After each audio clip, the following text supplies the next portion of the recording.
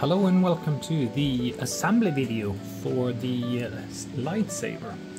So um, this video is going to be a tutorial on how to assemble this and also some tips and tricks when it comes to uh, printing and cleaning etc. So uh, before we start these few of these parts are printed in PETG and some of them in PLA. These are printed in PLA, uh, a little bit more of a tough PLA than regular ones. Uh, this will take the force for the twisting motion, so that's why I go uh, have gone for for that. And um, these ones are printed in PETG. I had a few issues with my PETG, not sure if that shows up on the video here, but this surface is not nice. It looks like it has been a little bit too much moisture in the PETG so I need to dry that for before I do a next print. It was totally new filament new directly from the bag, bag so um, yeah. I will need to dry that before I do anything and this is PLA silk. This is going to be the housing of the saber and these are the actual lightsabers so to say. Then we have a gearbox, a 3 to 1 ratio gearbox and then um, something that I call it skin. So this would be something that you can customize yourself, you can do whatever you want, just make sure to uh, it fits over the housing. So this would be put onto the bottom as the grip and this is the top etc and a few bits and pieces that I would just glue on for aesthetics so it looks a little bit nicer. So that's the skin um, that can be customizable. For this uh, assembly would be nice for you if you have uh, some kind of lubrication especially for these parts. So I will put a thin layer of oil on this and inside the gearbox I will just put a little bit of grease make sure that runs smoothly. There will be one part that is going to be glued and this and that is this part. And that should be glued at the bottom of the housing. Uh, but before we do that we are going to add some reinforcements. So this is gonna fit within this one. There is one round hole and then the rest of them are squared. So that should fit perfectly like this. So uh, that is going to be glued in place. It doesn't need to be much glue just so it doesn't pull off. It will not twist because of those tabs there. So that's that's the idea. There and for this we also need a few screws. So let me just grab a few of those it's gonna be three pieces of M3 10 millimeter screws. These ones. And it's gonna be one 20 millimeters or 15 millimeters. So I'm gonna go for 20 and those are only to reinforce the uh, plastic parts. There are a few places where the forces within the gearbox for example um, where we have these. That's where we put in these screws. That is only to reinforce the print so this doesn't break off. During my prototyping these were a troubling area so I reinforced that with these. Even though printed in 100% it sometimes breaks off. And the same for this. This is the center screw. That's the main screw that will pull everything apart and it also broke off here. I tried to make it like a solid part that doesn't help or anything so uh, once again that's where the longer screw is going to fit in. So just gonna screw that into the alright so let's start with the gearbox. Uh, that's gonna be the base of this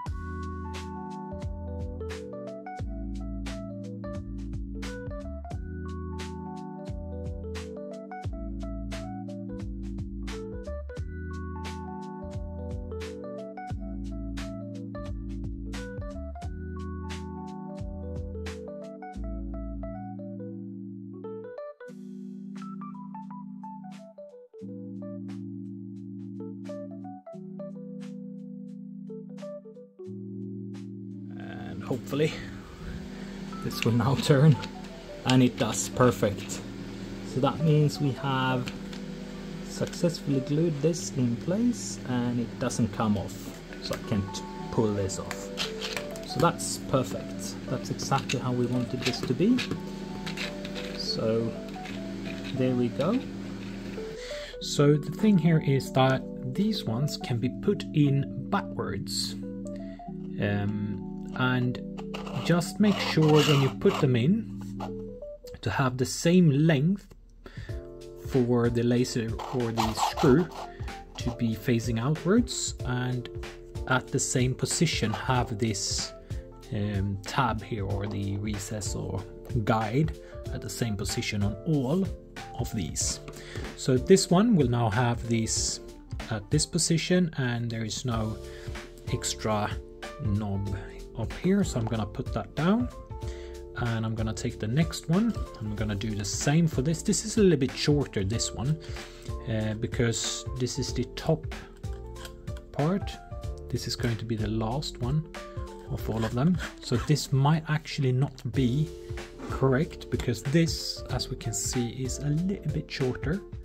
But so the thing here is that they need to be the exact same length and then after that you should have the same position of the tabs. And this one doesn't have one on the outside it's actually on the inside. So it's at this um, position there. So that looks actually like that is perfect. So I'm gonna go for that.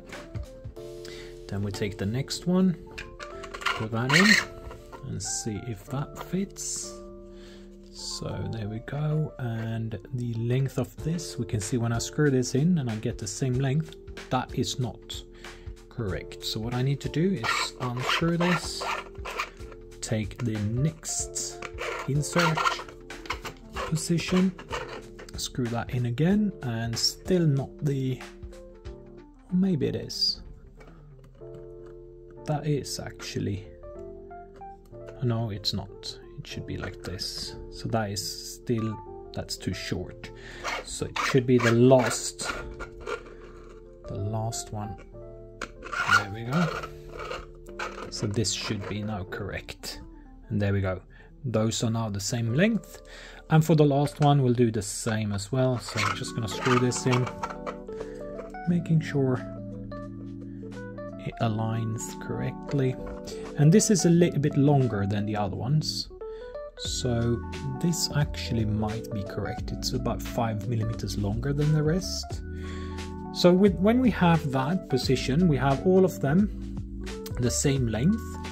It's now time to put this together. So we'll take this and then we'll take the next one. And as we can see the, the tab on that should align with this. So I'm just going to put that in and without rotating this one. So that's the important part. Do not rotate. So that now went in. So as we can see, it doesn't go in further than this. So it stops there. Do not push it all the way in. So we're gonna wait here for, for the next part. So we can see that this length is probably, uh, maybe not, we'll see. Then we'll take the next one, same there, rotate this until it aligns, and what I'm trying to do is make sure these tabs within here is aligned correctly, and that should be possible to just rotate it into place. Ooh rotate back again. Maybe I need to design some kind of tool to assemble this. There we go. That fits perfect. It looks correct. Uh, they should be pushed in together later. So last one. Make sure that this is correctly rotated like so.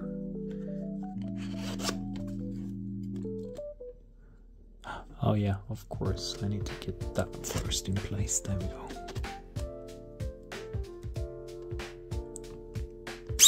There we go. That's perfect. So now when we have these in place, we should be able to just click this in position. That's one. And then next one, click. And the last one should just click in place. There we go. That worked out perfect. And all of them are now uh, embedded and all the way in. So it should be now possible to rotate this turns. So you need to pull this back at the same time as you rotate it. And there we go, that's working quite nicely. So now it's only mounting this into the laser housing. So what you can do is actually mount this in and then take out the bottom or the center uh, cog here and then rotate this to the correct position, push this in as far as possible and then remount this. That, that's gonna be the quickest way to do this. So let's just find the position where that should be. And that should now push out the center part. And what we need to do now is make sure to rotate this so we can just push this in all the way. There we go. So that's the uh, the closed position of the saber. So what we need to do now is rotate this counterclockwise. That's gonna be in the closed position. Find the correct alignment. And that should pop in perfect. Uh, the, uh, uh, the ring here should be all the way counterclockwise and when you rotate it clockwise it's going to open. So well, I'll need to work this a few times. This is still very tight. So um, during use it's gonna get looser and looser and easier and easier to rotate. So that works really good. So perfect. We just need to work that in. Maybe add some oil to it and see if that smooths everything up. And now it's time to put the lid back on to this. There we go. So then we have the saber. That works perfect. So, and now it's time to um, assemble the skin for this. We'll start with that uh, lid part. So I'm just gonna put some glue on this.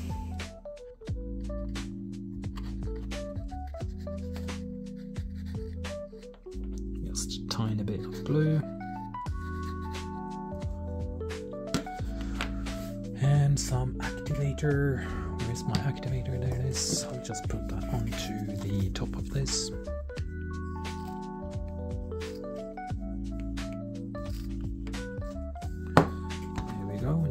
This on.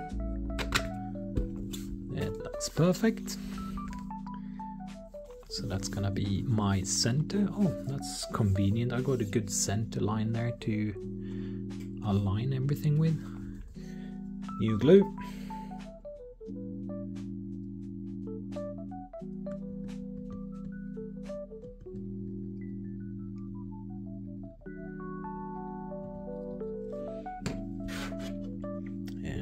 Again.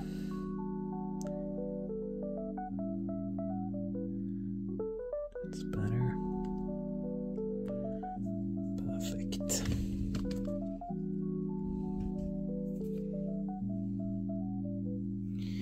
So that's the top. Let's move over to the centerpieces. I'm gonna add this handle first. Actually, uh, I have these golden rings. I'm gonna add those first to, to the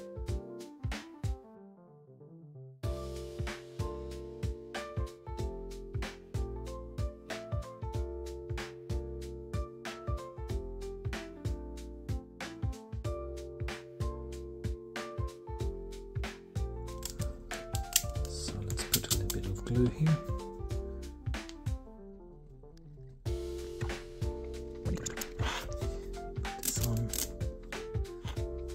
Good. Let's do the same for the bottom part. And here's the uh, final design. That's the uh, saber all put together. And uh, I'm really happy how this come out. And uh, let's see it opened. So let's just grab the bottom and twist it uh, counterclockwise and that should extend your saber to its full length. And then to pull it back, just twist the other way. So it's actually one full revolution on this at the bottom that needs to be done. So make, make sure you grab it the correct way so you can pull it in one go. And it's actually going to spin quite easily. So you can put push forwards on this and it can put it back in. So that is also one way of pulling it back in. Yeah, there you go. My retractable lightsaber.